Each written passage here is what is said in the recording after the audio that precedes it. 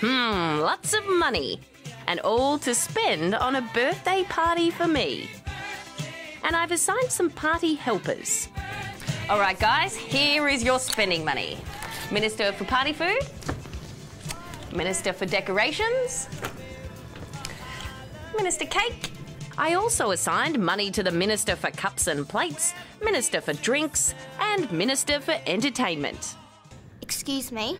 Yes, Minister Cake? What kind of cake do you expect me to buy with 50 cents?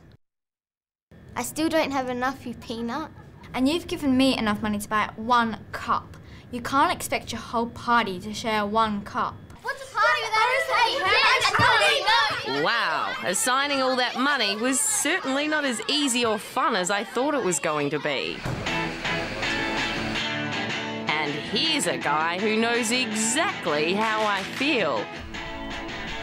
Meet Wayne Swan. He's our federal treasurer. He's not having a party, he's the guy who's in charge of all the government's money. You know how the government collects taxes from people and businesses each year? Well, the Treasurer is the one who decides how it will all be divided up and spent. It's called the federal budget. Okay, so maybe his job's a little bit more important than planning my party.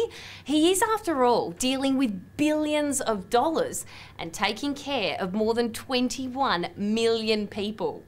He's got to make sure we're all healthy, safe, and educated. So he very carefully decides how he's going to spend the money on things like hospitals and medicines, education like our schools and unis, defence, for example, all our troops overseas and new weapons for them, money for the elderly, for roads.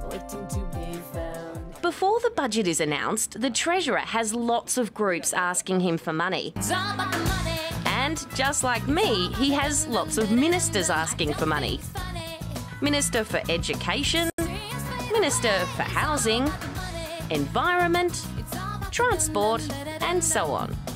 But trying to keep millions of Aussies happy is a job even the PM admits isn't easy. Some decisions will be unpopular.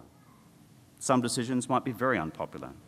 The budget is a big document and it's kept secret right up until budget night.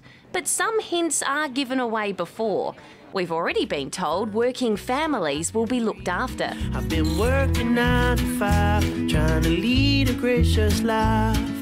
It's also predicted there'll be a big surplus this year, which means there'll be lots of money left over. The government might choose to keep that for emergencies. Now, the opposite of a surplus is a deficit. That's when the government spends more than it's been given and it has to borrow extra money. But whatever happens, the budget will affect all of us. It could mean your school gets new sports equipment, or you may have less money to spend at the tuck shop. Just like my party, Wayne Swan will be doing his best to keep everybody happy. But there'll always be some people who aren't.